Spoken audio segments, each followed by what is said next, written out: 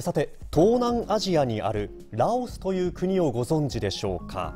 こちらタイやベトナム中国などと国境を接する人口750万人余りの小さな国です、海に接してないんですね、はい、経済的に豊かとは言えないこの国で大切な命を救おうと最前線の現場に臨む福岡市出身の女性がいます。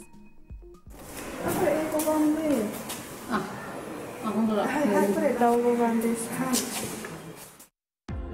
福岡市出身の高柳玲香さん28歳。大学を卒業後看護師保健師として5年余りキャリアを積みました。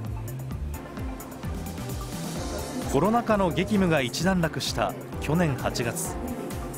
国内外で医療支援活動をする NGO ジャパンハートに転職。単身ラオスに赴任しました。オフィスの仕事もすごい好きででも保健師の仕事もすごい好きでこうどっちもできる仕事ないかなってずっと思っててでそしたらこうたまたまジャパンハートの求人ラオスの求人見つけて自分のためだけにこうやりたいことをそこにも直進していくっていうことが多分これ最後かもしれないなって思って。東南アジアの国ラオス。王朝時代の数多くの寺院が残る古都ルアンパバーンは世界文化遺産に登録されアメリカニューヨーク・タイムズで世界で一番行きたい国に選ばれたこともあります。そんなラオスで高柳さんが活動する拠点の一つが中国国境に程近い山岳地帯に位置するウドム祭です。こういう世界今年1月末から2月にかけて日本の甲状腺治療の第一人者の医師2人がうどむ祭にやってきました。治療と医療技術を教えることが目的です。診察を受ける患者の首には大きなコブラオスにはこのような人が少なくありません。用土欠乏地域っていうのはどうしても甲状腺腫が多い患者さんが多い昆布類とかですね。用土を摂取、まあ、まずしない地域なのでその影響がやっぱり一番多いんじゃないか。甲状腺が大きくなりますとやはり空気の通りが悪くなりますのでそうすると呼吸が苦しくなったり。ジャパンハートは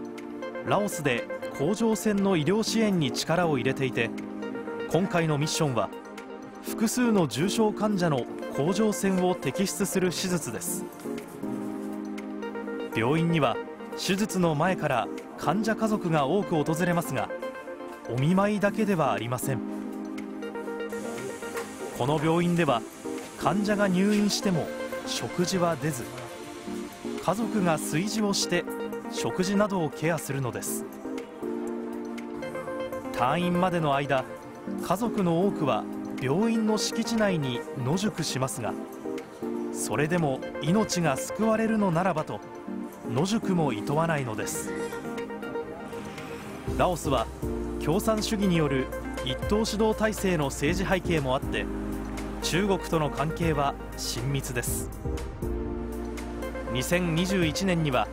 首都ビエンチャンと中国とを結ぶラオス中国鉄道が開業。うどむ祭にもこの鉄道の駅はありますが車で10分も行けば舗装されていない道にかやぶき屋根の建物。ラオスの国民1人当たりの GDP は2088ドルと日本の1割もありません。経済力の弱さは医療にも影を落としています。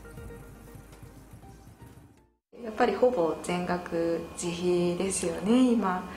一応医療保険というものがありますでもその今医療保険の診療報酬を政府が、まあ、もう3年ぐらい払えてなかったり病院の財源がないんですよねどこも。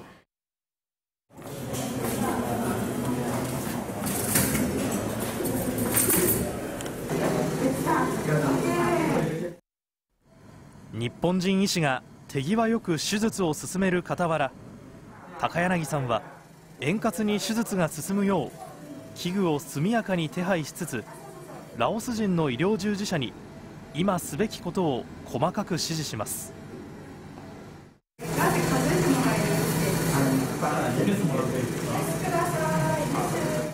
ジャパンハートが内部物外科学会と一緒にやってるんですけども現地の、えー、ドクターに甲状腺の手術を、まあ、指導というんですかなるだけ現地の先生にやっていただくということが趣旨ですね。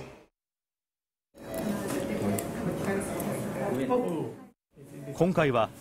患者9人から甲状腺を摘出。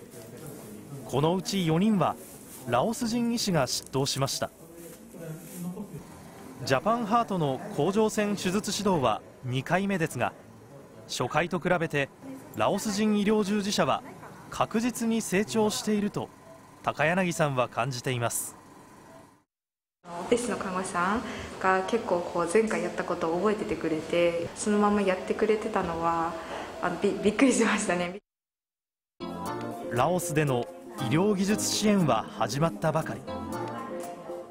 高柳さんがさらに深刻な課題と考えているのが